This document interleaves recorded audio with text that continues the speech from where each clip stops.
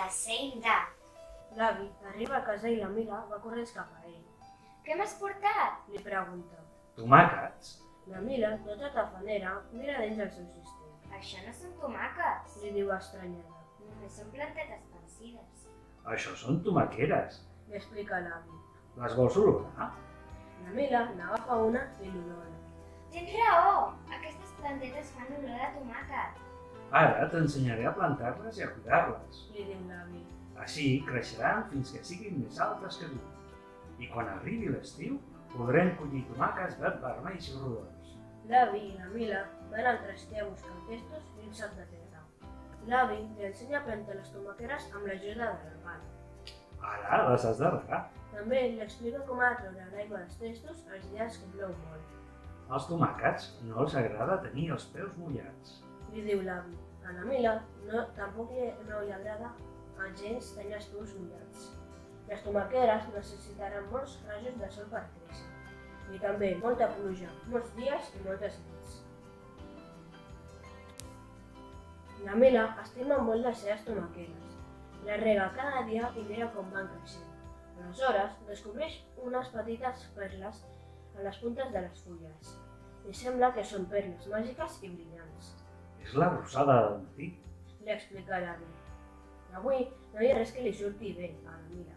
La seva samarreta de puntets vermells està bruta i als cereals hi havia panses, que no agraden gens. El pare l'estira al braç per no fer tard a l'escola. I de cop i volta, la Mila recorda que aquell matí va regar les seves tomaqueres. Avui fa molt sol i les seves plantes necessitaran molta aigua. A l'escola només pot pensar en, les, en els seus tomàquets. Està impacient per anar-se'n a casa a veure com estan. Quan arriba, corre cap al balcó. Les tomaqueres tenen fulles pansides. La Mila les rega. Si us plau, si us plau, no us assequeu. Li diu ben clixé. Per sort, al matí següent les plantes tornen a estar ben netes. L'avi de- ve de visita i porta uns pals molt divertits. Són pals entremaliats. L'ex exclama la Mila. Tu sí que ets una entremaliada. li diu l'avi amorosament. Al cap d'uns dies, descobreixen petites estrelles de color groc a les plantes. Són flors de tomàquet, De cada flor en sortirà un tomàquet. li explica l'avi. La Mila no s'ho pot creure Però si n'hi ha moltíssimes. i a cada matí en troba més. Aviat, de les primeres flors en surten unes boletes de color groc. La Mila avisa el seu avi. Avi, avi, tenim bebès de tomàquet. Aviat arribaran les vacances d'estiu i la Mila està preocupada. Qui cuidarà els meus tomàquets quan siguin fora? Marxarem dues setmanes a la platja. Tens un pla. Li diu l'avi. Potser els, el teu cosí Miquel et pot ajudar. El Miquel proposa buscar cuidadors de tomàquet. Ella escriu anuncis per repartir pel barri. Ella truca alguns veïns i amics. Al cap d'uns dies ja ho tenen tot resolt. La senyora Maria, la veïna de dalt, pot ajudar-los. I el Pere, el fill de la botiga de sota, també. Jo puc venir dos cops a la setmana. S'ofereix l'avi. La Mila els explica a tots com han de cuidar els tomàquets. Durant les vacances, la Mila escriu postals perquè ningú no s'oblidi de cap detall. Quan tornen, la Mila no pot creure el que veu. De totes les plantes en pengen tomàquets rodons i vermells. De petits i verds encara ha també. La Mila troba fins i tot noves floretes de color groc. La Mila cull tomàquets sense parar, n'hi ha més dels que, dels que caben al seu cistell. Ara, cada dia menja tomàquet. A l'escola, esmorza torrades sucades amb tomàquet. A l'escola s'endú tomàquets al forn dins de la carmanyola. També menja espaguetis amb salsa tomàquet i fins i tot talla alguns trossets per escampar-los damunt la pizza. La Mila cull més tomàquets dels que pot menjar.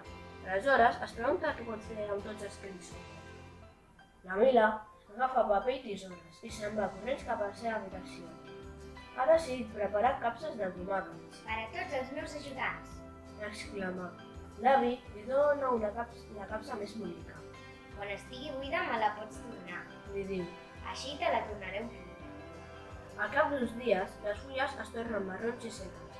Els últims tomàquets ja no es volen posar vermells. Però si els he regat cada dia, Diu la Mila a l'avi. que estan malalts. Està molt amoïnada. L'avi cuia els últims tomàquets amb la Mila. Els portarem a la cuina. Allà fa més calor i es posaran madurs. I què fem ara? Li pregunta ella, observant les plantes sense tomàquets. En plantem més? Ara ja no creixen tomàquets. Aviat serà la tardor i després vindrà l'hivern. Fa massa fred perquè no puguin viure. Però després, quan arribi la primavera, en tornarem a plantar. Diu la Mila. I també en plantarem cogombres, perquè a tu, avi, t'agraden molt els cogombres, oi?